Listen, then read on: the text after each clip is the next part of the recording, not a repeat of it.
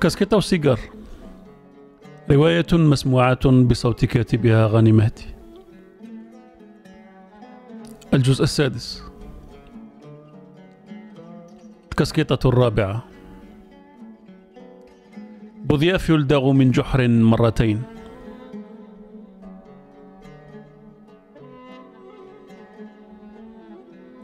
جنازة الرئيس بوذياف امرأة على حافة الطريق تبكي وتصرخ في وجه رئيس الحكومة سيد أحمد غزالي جبته قتلته. في 22 نوفمبر 1963 أطلق لي هارفي أوزوالد النار على الرئيس جون كينيدي في مدينة دالاس الأمريكية. في التاسع والعشرين من شهر جوان 1992 اغتيل الرئيس محمد بوضياف أثناء إلقائه خطابا في قاعة المحاضرات بدار الثقافة في مدينة عنابة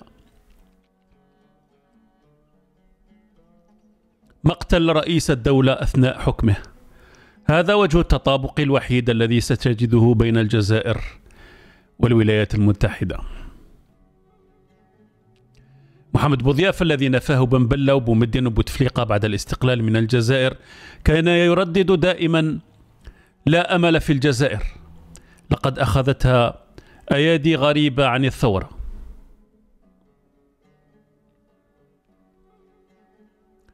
بوذياف قضى قرابة ثلاثة عقود في منفاه بالمغرب يبيع الطوب ومواد البناء. جنرالات الانقلاب كانوا يبحثون عن شخصية تاريخية تضفي على عودة الدبابة والكلاشينكوف إلى الشارع الجزائري قليلا من المصداقية. لعل تجربة محمد بوذياف في بيع مواد البناء بعثت فيه أمل بناء الجزائر من جديد وتحقيق حلم السلطة الذي منعته جماعة وجدة من تحقيقه بعد أن حطت الحرب أوزارها في 1962 ولكي يبرهن للعسكر الذين أتوا به أنهم أحسنوا الاختيار صرح بملء فيه أنه لن يتردد في وضع ثلاثة ملايين جزائري في معتقلات الصحراء إن تطلب الأمر ذلك. الإحصائيات آنذاك كانت تتحدث عن 3 مليون مناصر للجبهة الإسلامية للإنقاذ. خالد نزار وبتشين والعماري وبالخير جنرالات مافيا القهوة والزيت والدواء والمفرقعات كما سماهم الشارع الجزائري وعلي هارون محامي الإنقلابيين ومهندس محتجزات الصحراء. أين سجن الآلاف من الجزائريين في منطقة رقان التي قام فيها المستعمر الفرنسي بتجاربه النووية؟ جميعهم ظنوا عبثا أنهم سيتحكمون في هذا الشخص الذي انقطع عن البلاد أمدا طويلا ولا يعرف عن خبايا الحكم في الجزائر إلا الشيء القليل. لكن الرجل أراد أن يبرهن للشعب الجزائري ولرأي العام الدولي أنه ليس شبه رئيس. ففتح ملفات الفساد في البلاد وبدأ في شن حرب ضد سياسة المحاباة والمعرفة والكوبيناج فحارب رفاقه الذين أتوا به فقتلوه بدم بارد. قصة بومعرفي الضابط الذي يزع قصة بومعرفي الضابط الذي يزعم أنه قتل محمد بوذياف وأنه قام بالعملية بمفرده لأنه يريد حماية الجزائر من العدو الخارجي الذي يخطط لتقسيم البلاد سيناريو صعب الهضم نوعا ما للأسباب التالية. أولا الشهادات المتطابقة من الذين كانوا في قاعة المحاضرات بدار الثقافة بمدينة عنابة أين اغتيل الرئيس؟ الكل يجزم بوجود شخص رمى القنبلة اليدوية وشخص آخر أطلق الرصاص على الرئيس. هذا ما يسقط فرضية العملية الفردية لاغتيال الرئيس محمد بوذياف ثانيا غياب الكثير من كبار المسؤولين في الدولة. ثالثا لأول مرة في تاريخ البروتوكول الرئاسي يعين ضابط لحراسة الرئيس ليلة سفره. بومعرافي عين ضمن فرقة حراسة الرئيس ليلة سفرية بوضياف إلى عنابة. رابعا رئيس محكمة عنابة كان في عطلة مرضية. خامسا طيار الهليكوبتر المخصصة للإسعاف التي كانت جاثمة على مطار عنابة لم يتلقى أي خبر باغتيال الرئيس. سادسا. محمد بوضياف وصل إلى المستشفى العسكري عين النعجة على الساعة الخامسة. الرصاص الذي أرداه قتيلا أطلق على الساعة الحادية عشر وخمس وثلاثون دقيقة.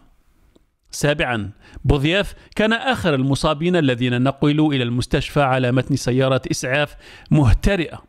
ثامنا إطلاق الرصاص على سيارة الإسعاف التي كانت تنقل الرئيس المغتال. تاسعا صدور أمر بعدم اختصاص القضاء المدني الذي تكفل بالقضية وإحالة القضية إلى القضاء العسكري. عاشرا لم تتم محاسبة لا إطار مدني ولا ضابط عسكري ولا أي ضابط من جهاز المخابرات الذي نظم زيارة الرئيس إلى عنابة وكان مسؤولا عن أمنه. محمد بوذياف الذي حضر حفل زفاف نجله الطيب بالمغرب رغم قرار الجنرال مدين منعه من السفر يكون قد أمضى قرار تصفيته بنفسه. هذا ما تداولته الأوساط المطلعة على ملف اغتيال رئيس بلد بحجم الجزائر. تصفية سجلتها كاميرات التلفزة الوطنية للتاريخ. كان سيد أحمد غزالي رئيسا للحكومة حينما قتل بوذياف التقى به في جنيف مرة فسأله هل الجنرالات هم من قتلوا بوذياف؟ فرد عليه يجب أن تعلم بأن هنالك حاكم فعلي للجزائر ليس هو الحاكم الطبيعي من هو هذا الحاكم؟ تفق؟ ضحك صاحب ربطة العنق الفراشة كما يسميه الجزائريون ثم قال الأمر أكبر من كل الجنرالات يا ولدي أتدري لماذا منعوني من الوصول إلى الحكم؟ لماذا؟ لأنهم يعلمون أنني لا أسرق. كل المسؤولين الذين التقى بهم خارج البلاد مساكين يملكون شققا فاخرة مقابلة لبرج إيفل في باريس يملكون فنادق في أكبر العواصم الأوروبية في أرقى الأحياء لكنهم يعتبرون أنفسهم مساكين بالنسبة للجنرالات الذين اختلسوا الملايير. كم من صفر على اليمين في المبلغ المختلس. يجب أن نضع لكي تصبح سارقا في الجزائر. ضباط فرنسا قرروا تصفية بوذياف لأنه أدخل أنفه خنشوشه كما يقول الجزائريون في ملفات فساد واختلاسات خطيرة جداً. أسر إليه أحد الضباط مرة أن أحد الجنرالات طلب من ضابط سامي في الجيش أن يبحث له عن رجل من فرقة التدخل السريع التابعة للقوات المسلحة شرط أن يكون ضابطا مخلصا. لا يخشى الموت من أجل بلاده. وقع الاختيار على أبو معرفي الذي خضع لغسيل دماغ لأكثر من شهرين. خلص في نهايتها أن بوذياف سيبيع الجزائر لقوى أجنبية ستقسم البلاد وتنهب ثرواتها. خلال التمرد الجماعي لمساجين سركاجي كان بومعرافي من بين المتمردين مع الكثير من مساجين الفيس. سارع الجنرال نزار إلى السجن ورفع سلاحه في وجه عبد الحق لعيايدة أحد أمراء الجماعات المسلحة الجيا قائلا له لو يموت بومعرافي سأقتلك بنفسي. لماذا يحرص الجنرال نزار على حياة قاتل الرئيس بوضياف؟ بومعرفي اليوم في زنزانة فردية في جناح خاص بالشخصية الكبيرة. لا يرفض له طلب حتى قطته سمح لها بالعيش معه. مرة مرضت المسكينة فجاء بطبيب بيطري في منتصف الليل لفحصها. هذه قصة بومعرفي الذي كان الجنرالات يتحكمون فيه عن بعد دون أن يلتقي بأحد منهم. بومعرفي قام بتنفيذ مخطط جهنمي نسجت خيوطه المافيا التي كانت تحكم البلاد. من وراء ستار. من وراء ستار. هكذا تم اغتيال الرئيس محمد بوضياف الكسكيطة الخامسة. الكل يعلم أن الجيش هو من يعين الرئيس في هذه البلاد. خالد نزار. من حكم الجزائر بعد اغتيال بوضياف عسكري طبعا. علي كافي. قبعة عسكرية أخرى تحولت إلى ربطة عنق لتحكم الجزائر بعد اغتيال الرئيس بوضياف كافي الذي كان عقيدا في صفوف جيش التحرير تقلد مناصب دبلوماسية عديدة ليصبح سفيرا لدى العديد من الدول العربية.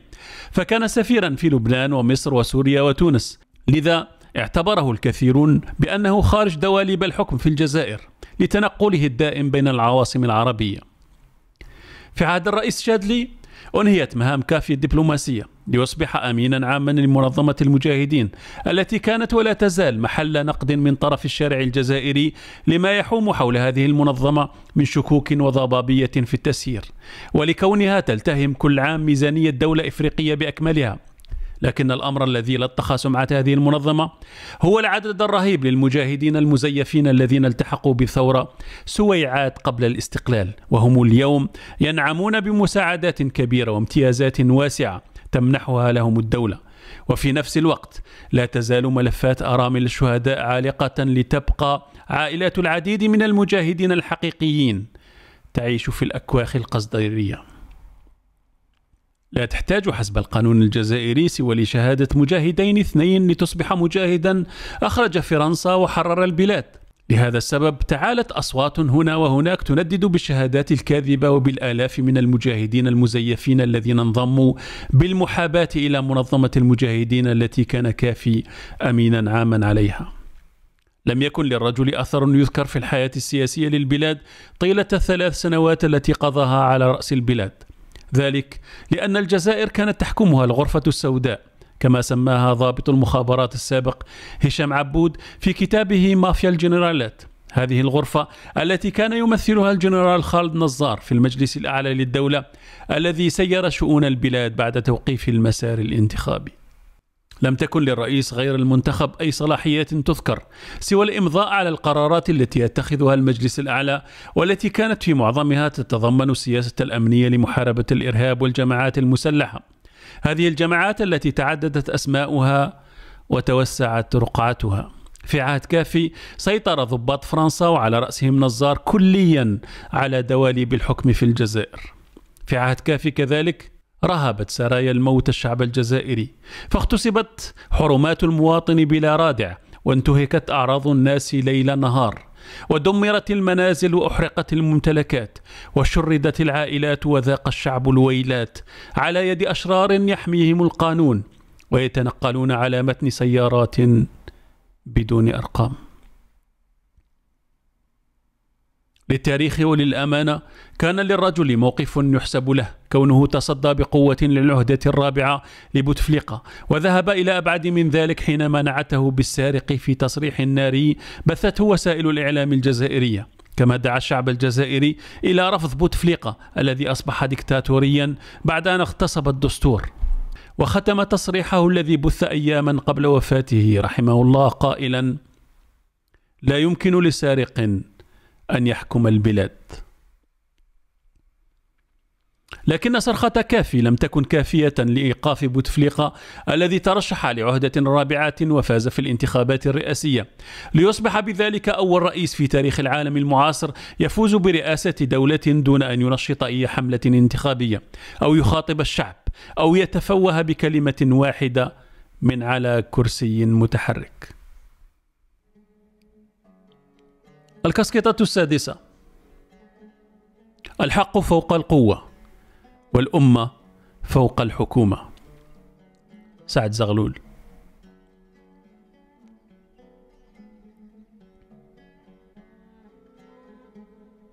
الجنرال يمين زروال حكم الجزائر عندما كانت البلاد دما ونارا وهو أول من طرح فكرة التفاوض مع الجماعات المسلحة لإخماد نار الفتنة في البلاد.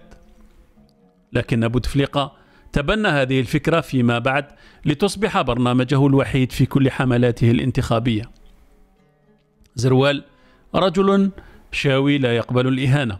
لذا رفض استقبال الرئيس الفرنسي جاك شيراك لأنه وضع شروطا مهينة ليلتقي به كما وقف موقفا صارما تجاه العديد من قرارات ومطالب صندوق النقد الدولي.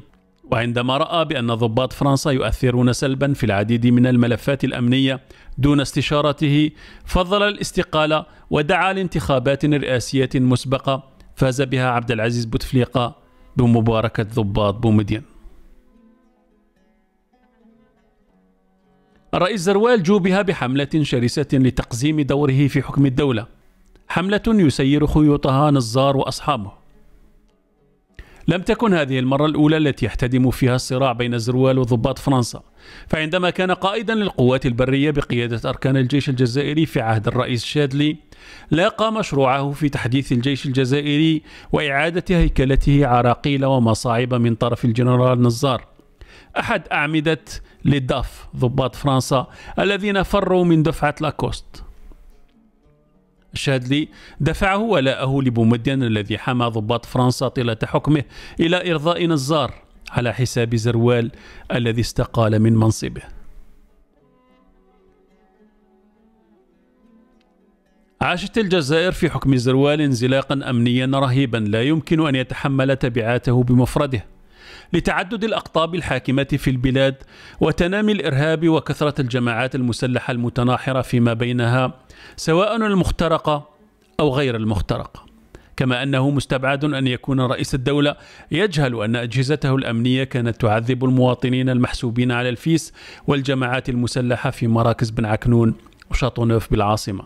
وفي زنزانات الثكنات العسكرية ببن مسوس ودل إبراهيم وتصفي جسديا من تشاء. خارج نطاق العدالة. سنحت للجزائر فرصة لتضميد جروحها وإخماد النار التي أتت على الأخضر واليابس في البلاد.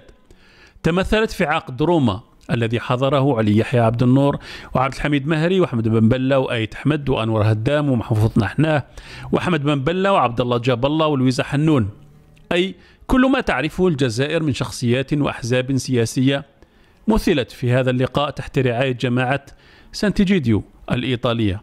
هذا العقد الذي ينص على عودة الفيس وإطلاق سراح قادته كما ينص على العودة إلى دستور 1989 وفتح النشاط السياسي وتكريس التعددية الحزبية في البلاد. لكن التيار الاستئصالي وعلى رأسه رضا مالك وضباط فرنسا ضغطوا على زروال الذي رفض عقد روما بذريعة أنه مسير من طرف أيادي خارجية. وخسرت الجزائر فرصة حوار جاد وبناء لم تتح مرة أخرى. لكن سيكتب التاريخ أن اليمين زروال هو الرئيس العربي الوحيد الذي استقال طواعية من الحكم وعاد ليعيش ببساطة في بيته المتواضع بمسقط رأسه بمدينة باتنا شرق الجزائر. رافضا سيارة المرسيدس التي سلمت له ومفاتيح الفيلا التي وضعت تحت تصرفه في أعالي العاصمة الجزائرية. الجزائر 2001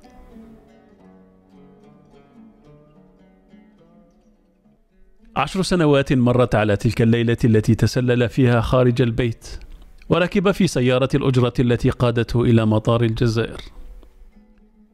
كثيرة هي المرات التي أحس فيها بالحنين إلى والديه وإخوته لكنه كان يعيش في باريس بسرعة الضوء لا يتحكم فيه الزمان والمكان.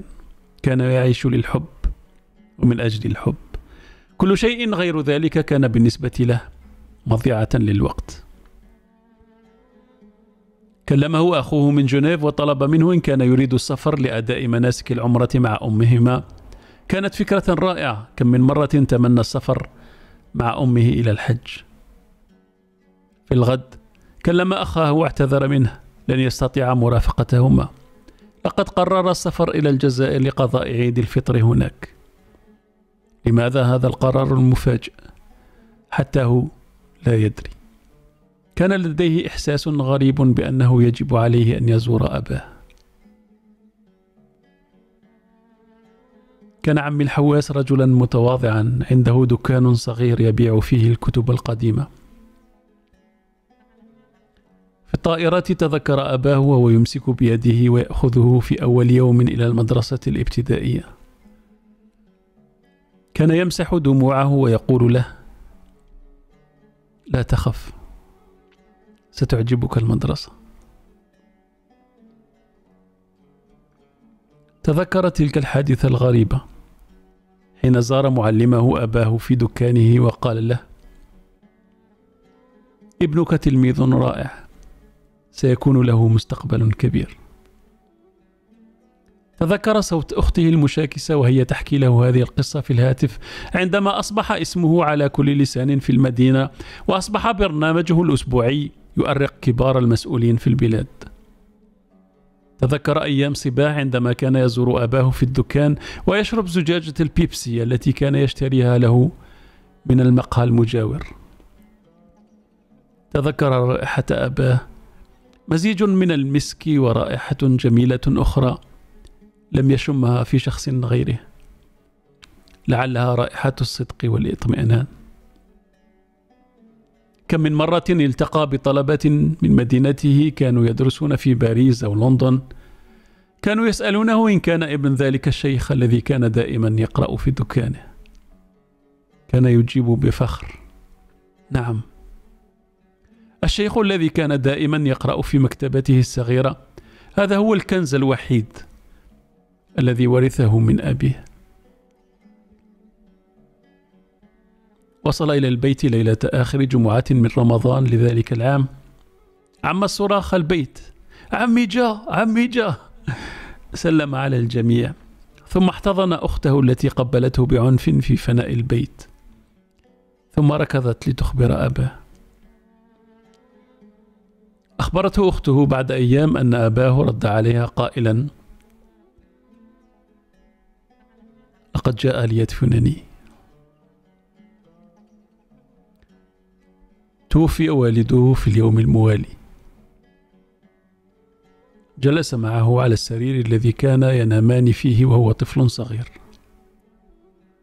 أمسك بيد أبيه رفع له أصبع الشهادة وأقر بالشهادتين في مكانه. همد جسد أبيه الذي أصبح باردا كالثلج. صرخ في وجه أخته أن تكف عن الصراخ والعويل. قرأ قليلا من القرآن ثم قبل وجه أبيه طويلا. وذهب إلى الصالون وأخذ سماعة الهاتف وأخبر الجميع بأن عمي الحواس قد مات.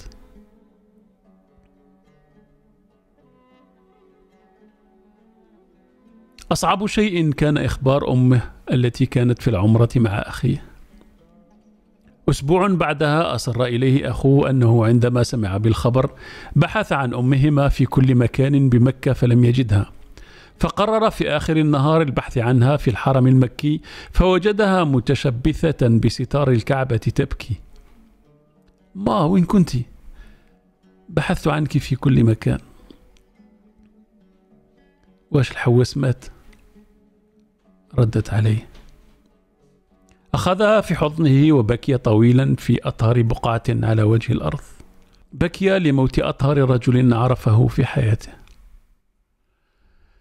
كيف علمت أمه بالخبر؟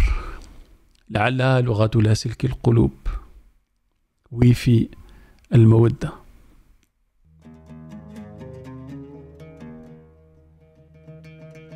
قطار الجبال يقودني كل ليلة إلى بستان عالي. فيه خضرة وأمان وماء جاري. وأحن إلى رائحة أمي وقطعة كسرة معجونة بزيت الزيتون وقدر حسائي. أحن إلى أبي راجعا من سوق الخميس البعيد وإلى يديه الراهفتين تحملان قفة يطل من أعلاها رأس ديك رومي وفي آخر النهار يجلس أبي ليحتسي قهوته بالقرب من قطنا النائم تحت فرن الدار. أحن إلى تلك الليالي المظلمات أين ينقطع فجأة تيار الكهرباء؟ هنالك يتحول أبي إلى ممثل رائع. يحملنا بخياله تارة إلى قصور وحدائق فيها عيون وأشجار رمان. وتارة إلى حروب أدبية فرسانها مدح وهجاء وصولة شجعان. إلى طرائف تبكينا ضحكا. أبطالها رفاق شبابه وهم يتلاعبون ببائع الكتان. وأغمض عيني لأبحر في ذاكرتي بحثا عن ذلك الدكان. قضى فيه أبي ثلاثين عاما. يبيع كتبا مرقعة أو يقرأ تفسير المعاني. وفي المولد يأتينا بشموع ملونة وبخور وعطر أقحوان. ويوقظني مراقب القطار وأعطيه تذكرتي بعد ثواني. ويدعني بشكر دبلوماسي وأبغضه لأنه أعادني إلى زماني. مات أبي في الشتاء وأصبح دكانه تبغا وكبريتا وأشرطة للأغاني. وكلما اتخذتني بنيتي حصانا لها وأنا ساجد للرحمن تذكرت ذلك الشيخ البسيط الذي لازم صوته آذاني. مات أبي في الشتاء وفجأة انقطع تيار الكهرباء.